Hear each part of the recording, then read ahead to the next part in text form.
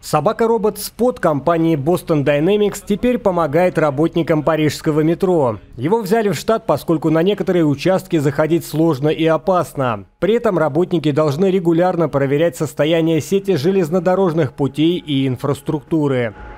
Оператор метро решил, что робот будет незаменим и не прогадал. 40-килограммовый аппарат с подвижными конечностями назвали на французский лад «Персивалем». Но это весело, напоминает большую игрушку.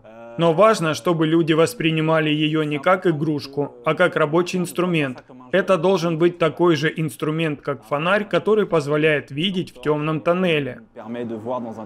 Робота купили примерно за 100 тысяч евро. Он оборудован камерой с обзором в 360 градусов, а также инфракрасным датчиком. Итак, есть места, куда вообще невозможно зайти. Есть места, куда мы заходим, но это сложно и опасно. И поэтому мы используем этого робота. Он становится нашими глазами.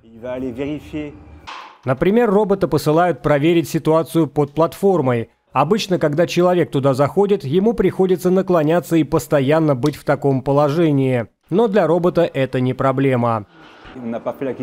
Мы приобрели этого робота не для того, чтобы внедрить искусственный интеллект для наблюдения за участком.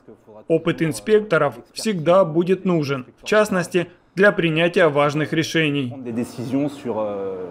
Персиваль будет обследовать примерно 13 километров участков с ограниченной высотой свода. Задействовать его будут не каждый день, а только дважды в месяц. Сеть метро в Париже одна из старейших в мире. Ее построили в 1900 году. Она также крупнейшая в Европе. Насчитывает 308 станций и 220 километров железного полотна. Ежедневно подземкой пользуется 16 миллионов человек.